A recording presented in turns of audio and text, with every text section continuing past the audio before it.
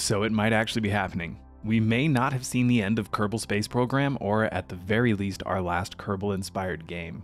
We recently learned that RocketWerkz, the development studio behind games like Icarus and Stationeer, led by Dean Hall, who created the DayZ mod, have decided to move forward with their spiritual successor to Kerbal Space Program, tentatively titled Kitten Space Agency. I say move forward because while Kerbal Space Program was in development, they were apparently debating how viable the project might be given the already well-established Kerbal fanbase and if competing directly with Kerbal Space Program 2 was something they really wanted to do.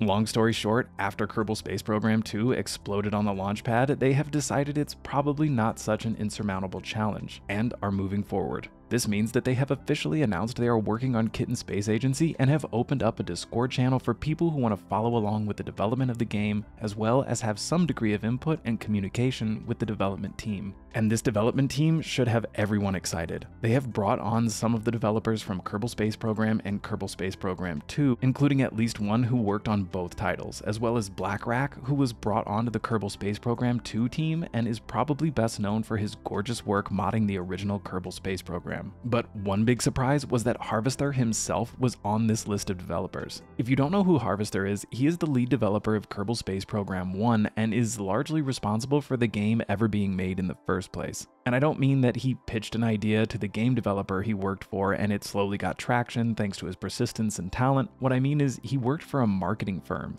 Squad, the developer of Kerbal Space Program, was not a game development studio and he was able through some mixture of passion and talent able to convince them to allow the development of Kerbal Space Program, which is one of my favorite games of all time. It's not completely clear what Harvester's role is here, but it appears that it is at the very least a consulting role, something that the Kerbal Space Program 2 team was largely criticized for not doing. Apparently, the team over at Intercept Games, the studio that designed the disaster that is and was Kerbal Space Program 2, never once reached out to Harvester in any type of advisory way. Now, it is true that Kerbal Space Program and its DLC content was still being supported and even actively developed while Kerbal Space Program 2 was getting started, and that Intercept Games had created a sort of firewall between the two development teams, an already massive blunder. But Harvester was at the time no longer working at Kerbal Space Program, and would have been, at least I assume, able to have at the very least some type of informal or maybe even formal advisory meeting with the team planning to make the sequel. So, not to point fingers at anyone specifically, but obviously there was some poor choices being made right out of the gate. And the rest is, well, sadly, history. To catch you up to speed briefly, I have made several videos on the topic, which I will link in the description below, but in the end, Take Two decided to scrap some of its smaller studios as a part of its 5% across the board reductions, and one of those studios was Intercept Games. Intercept Games, along with the intellectual property of Kerbal Space Program, was part of a larger publishing company called Private Division. Private Division was a publishing company owned by Take Two that was home to Take Two's smaller, what they would consider indie projects. I say was because Private Division has since been sold in recent days to an undisclosed buyer, for an undisclosed amount of money. And it has been confirmed that this sale does include the IP of Kerbal Space Program 2. Sadly, it also confirmed finally, after six long months of silence and denial, that Intercept Games has in fact closed. No comment was made about whether or not Kerbal Space Program 2 was the target IP of the acquisition, or if it was just part of what was bundled together and bought by some private equity firm to possibly be sold off in parts at a later date. And I am sadly inclined to believe the latter. Private equity acquisitions rarely lead to revitalization of anything other than shareholder account balances. In the end, we may learn that it wasn't private equity, but if it was a group planning to continue the development, we would probably know by now. This also brings up the question of why is this game still for sale on the Steam store? It should at the very least be marked down to a generous discount. So while I hope I'm wrong, my assumption is that we have very likely seen the end of Kerbal Space Program 2's development, and if we do see a continuation of the Kerbal universe, it won't be anytime soon. Again, I hope I'm wrong. But do not despair, because as I mentioned, there is hope, and it's called, for now, Kitten Space Agency. The current concept looks like this, but the developers have mentioned that this isn't finalized, and in the end it may not even be kittens, although I kind of hope that it is. So what do we know about Kitten Space Agency? At its heart, KSA is a serious space exploration game with the charm and whimsy of kitten astronauts and scientists. The playful theme should add a unique personality to the game, blending cuteness with the complexities of space travel, much like KSP did. Like KSP, KSA focuses on realistic space physics, allowing players to build, launch, and manage their own spacecraft with physics based challenges such as orbital mechanics, fuel management, and maybe even getting some of those kittens back home.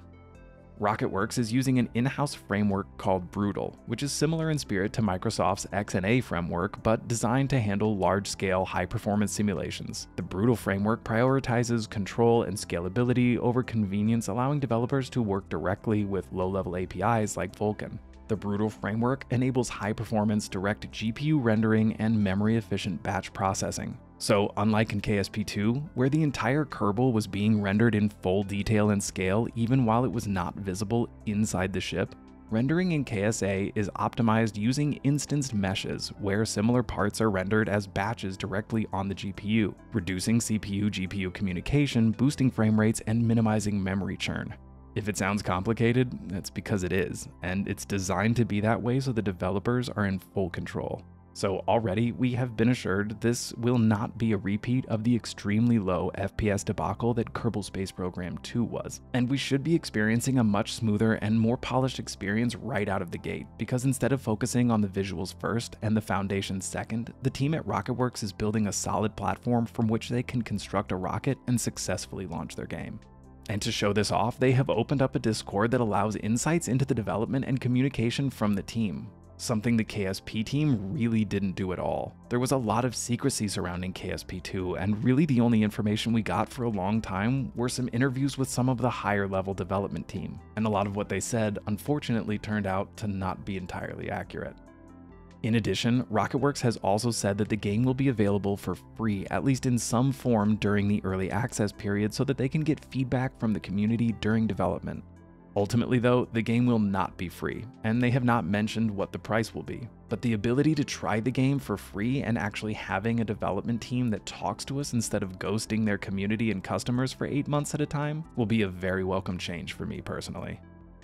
So we have this visual test, which is very early days, and this is what the game will kind of look like for now. Which brings up the question, what do we know about the art style? Is it going to be similar to Kerbal Space Program, or will we be seeing something a little bit more realistic or more cartoony? Well, from what we know, the art style is described as a mix between KSP and KSP2 with a focus on consistency, performance, and modding ease. It appears that the focus is on a crisper graphic than in Kerbal Space Program 1, but not necessarily being the highest fidelity graphic available, which I think is a great mentality for this type of game. I personally would love to see some updated graphics in comparison to Kerbal Space Program 1, but Kerbal Space Program 2 spent a lot more time on making sure that the game was shiny enough and not enough time making sure it was actually playable. They clearly spent tons of time on the trailers and videos to make the game look like it would be fun, and honestly, the trailers for KSP2 were great. It's too bad the game wasn't. In Kitten Space Agency, the style and theme will balance realism and whimsy to maintain both playfulness and immersion. And with people on board like Blackrack who brought us some of the best visual mods for KSP1, I have no doubt that we are in extremely capable hands. What's really interesting is that RocketWerkz was actually one of the studios being considered to develop Kerbal Space Program 2 in the first place. So why didn't they get chosen for the sequel? Well, it kind of sounds like their bottom-up approach was the problem which is a shame because this bottom-up approach by RocketWerkz is exactly what we needed from a sequel to Kerbal Space Program, which was notorious for its spaghetti of code to make the systems work within the limitations of its framework.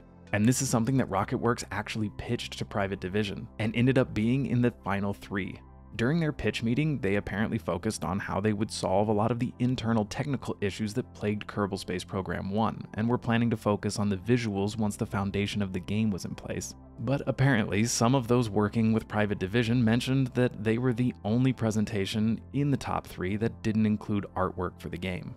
They were obviously not chosen to be the developing studio, and we all see how focusing on the pretty pictures over the fundamentals of the game worked out for Private Division. And yeah, I'm still very salty about what happened. So is Kitten Space Agency going to have all of the features we expected to see in Kerbal Space Program 2? Mainly will it have multiplayer and interstellar travel? It looks like it will.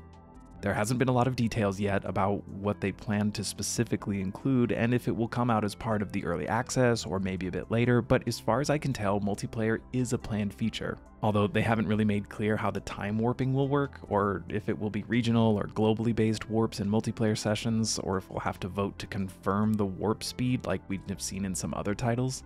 Either way, Kerbal was never really a multiplayer game in my mind, so if they said that they can't make it work, I won't be all that upset. Part of me would almost prefer that they scrapped plans for multiplayer, as it's always felt like a pipe dream for Kerbal Space Program, and something that makes the game just more complicated than it needs to be. To me, Kerbal Space Program has always been a solo experience, and I expect that I'll probably feel the same way about Kitten Space Agency. The feature I'm really interested in is interstellar travel, and the developers have said a few things about the scale of the solar system as well as interstellar travel and planets.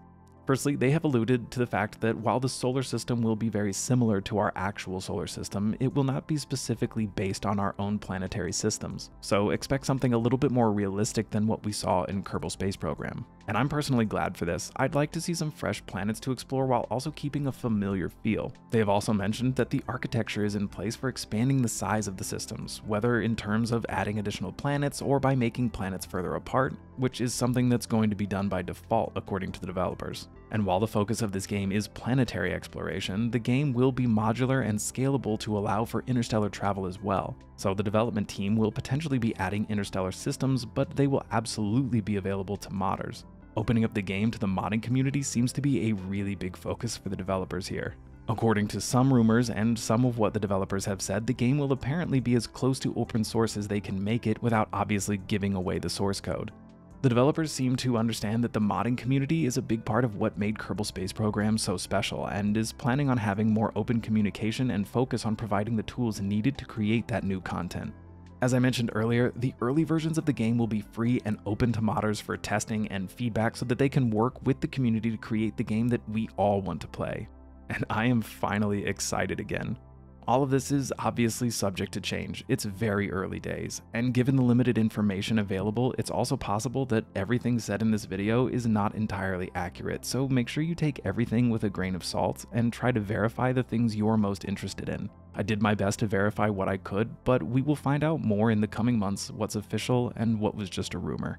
If you want to follow along with the development of this game, make sure to subscribe and I'll keep you updated as more information comes out. Or you can check out the Kitten Space Agency's subreddit and join their Discord so that you can keep up to date on a daily basis and communicate with others in the community who are also excited about this game. Again, some of these names may have changed depending on when you're watching this video because even the name isn't finalized. It's that early. Tentatively, we may see an early free version available in 2025. We all waited almost a year to get our first major update from KSP2, so what's one more for a game that, as of right now, looks like it might end up being even better. Don't forget to hit that like button, it really helps my channel, and if you want to stay up to date on gaming news and developments, make sure you subscribe for more. Thanks for watching.